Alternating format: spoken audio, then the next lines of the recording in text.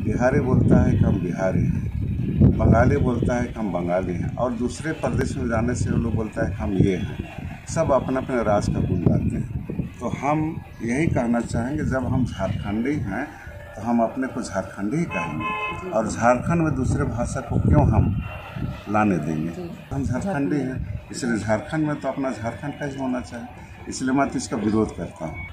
मैं बिशप अमृत जय एक्का अभी मैं फ़िलहाल रांची हेडक्वार्टर में ही हूँ और तब अभी यहीं पर सेवारत हूँ। और सेवा का क्षेत्र तो बड़ा होने के चलते मैं हमेशा बाहर ही रहता हूँ।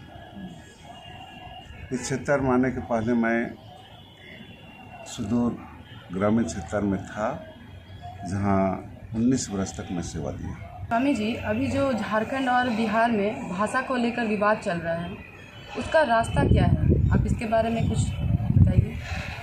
देखिए, इस संबंध में तो मैं बहुत सारे नेताओं से बात किया और अभी भी करता हूँ। जैसे अभी हालात है, वर्तमान परिस्थिति में जब आप देखेंगे तो सब जगह इसका विरोध किया जा रहा है। बिहारी बोलता है कि हम बिहारी हैं, बंगाली बोलता है कि हम बंगाली हैं और दूसरे प्रदेश में जाने से वो लोग बोलता है कि हम ये हैं। सब अपने अपने राज का गुण गाते हैं। तो हम यही कहना चाहेंगे, जब हम झारखंडी हैं तो हम अपने को झारखंडी ही कहेंगे और झारखंड में दूसरे भाषा को क्यों हम लाने देंगे? जैसे दूसरे लोग कहते हैं हम बिहारी हैं। तो इसे हम बोलते हैं हम झारखंडी हैं। इसलिए झारखंड में तो अपना झारखंड का ही होना चाहिए। इसलिए मैं तो इसका विरोध करता हूँ। अच्छा अच्छा। सर रास्ता क्या हो सकता है? इसका रास्ता यही हो सकता है सरकार इस पर गहन विचार करे सोच समझ करके काम करे। अन्यथा आग जो अभी लगने वाला है या लग चुके हैं बोलेंगे हो सकता है आगे जाने के बाद में जी भड़क अभी तो शुरुआत हुआ है। अभी तो होता आगे भड़क भी सकता है। इसलिए मैं तो यही कहना चाहूँगा कि वर्तमान सरकार जो है इस पर गहनता के साथ सोच विचार करे। सरकार के कार्यों से स्वामी जी आप कितने संतुष्ट हैं? उससे तो कहा जाए तो राज्य सरकार अच्छा ही काम कर रहा है। राज्य सरकार के कार्य से मैं सचमुच का संतुष्ट तो हूँ लेकिन इससे बढ़कर के और कुछ काम करना है? अब विशेष करके जैसे बेरोजगारी हुआ और और चीज़ हुआ इस पर तो सरकार को कदम उठाना चाहिए।